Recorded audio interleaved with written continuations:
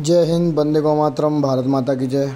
जैसा कि आप वीडियो में देख रहे हैं, यह घटना है मुरैना के सराय छोला थाना के अंतर्गत बदा हेतमपुर की।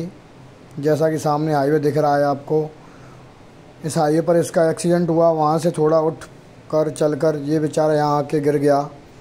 तीन दिन से यहीं पड़ा हुआ है। सभी अधिकारियों, कर्मचारियों को कॉल के माध्यम से बता दिया।